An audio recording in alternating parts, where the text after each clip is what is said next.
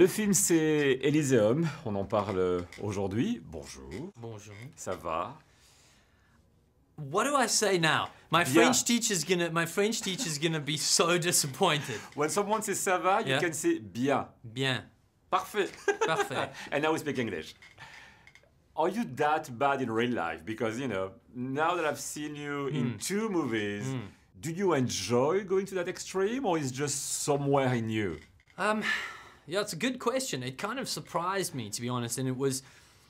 I, I, I people were asking me, is was it more fun to play a villain than the Uh-huh. heroes? And I said, no, it wasn't. It was quite difficult for me because I think I've got a lot of energy, but I had to channel it in a very aggressive, darker way.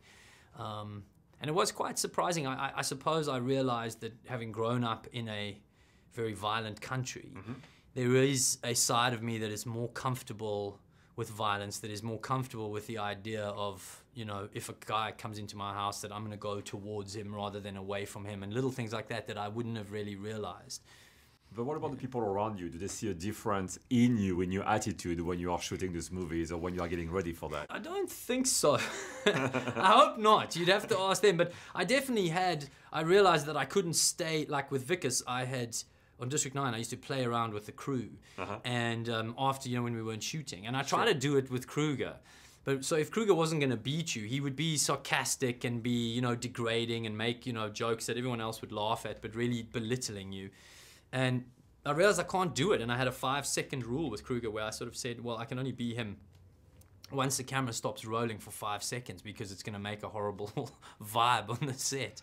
What's the difference between uh, District 9 and Elysium for you? You know, same director, Hmm. sci-fi movie as well. Is it just about the money, a bigger think- trailer, more money? No, the, the, the responsibility of the film doesn't fall on me because I'm not the lead in the same way.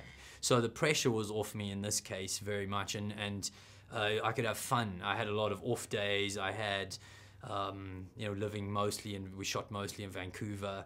So that was, was probably the, the biggest difference is that this case it was more just well here's your little character and make this as entertaining as you can but in district 9 i had far more impact on the film the story the carry everything and this was more like just come it was more standard way of working on a film and Did you try to get uh, Matt Damon's part? To No, I didn't. I didn't. I read the script and I felt that I was one of the first people to read it. And I said to Neill, if you if you do want me in the film again, we weren't sure we were going to do two movies together right in a row. I said, well, out of interest, I think the right one for me to do would be the villain because it is different. Because it's there were some things with Matt's character that were maybe similar in certain ways to what happens to Wikus, and I thought. Mm, that's maybe a little bit too close for fans, let me do something really different